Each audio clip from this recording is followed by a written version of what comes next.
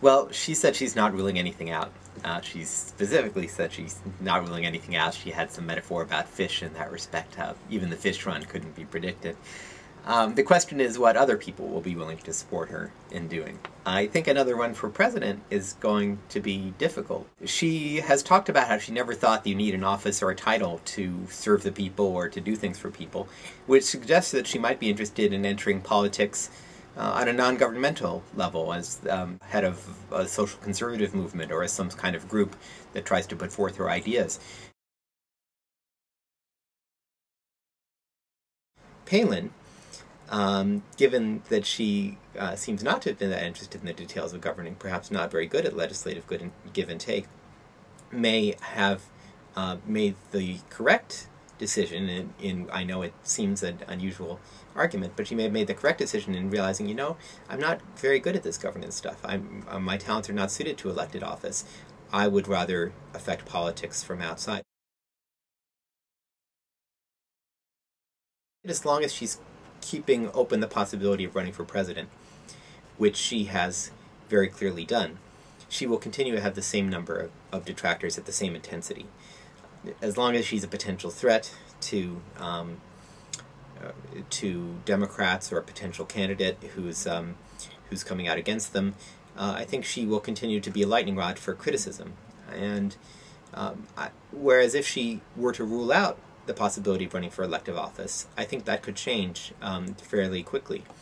She would continue to have uh, detractors and people who disagreed with her strongly, both on grounds of her political positions and personally. She's um, she's seen as um, as culturally undesirable to some, just as she's culturally desirable to others.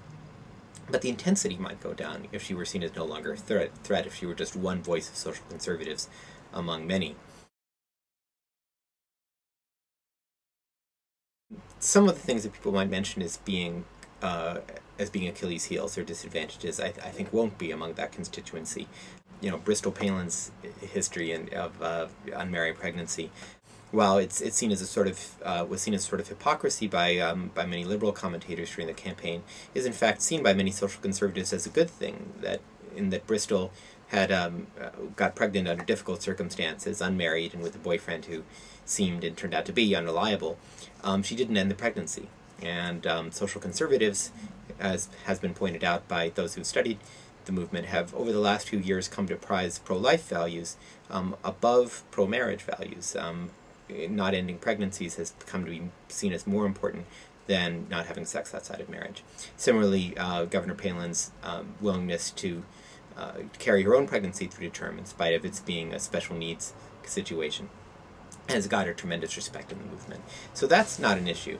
Her ethical problems have largely come from trying to combine motherhood with political office, and she's tended to blur the lines between those two, and this is where the investigations have come from, though Governor Palin rightly says that none of them have in fact found her guilty of any misconduct.